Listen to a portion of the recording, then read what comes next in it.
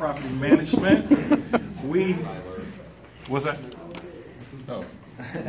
The residential property management company of the group. We help you own the property, not the stress. Let's talk about stress. You need marketing for your real property? We got it. Screening, don't want the wrong folks in there? Check. We'll take care of that. Collections, who wants to run after your money on your property? We got that.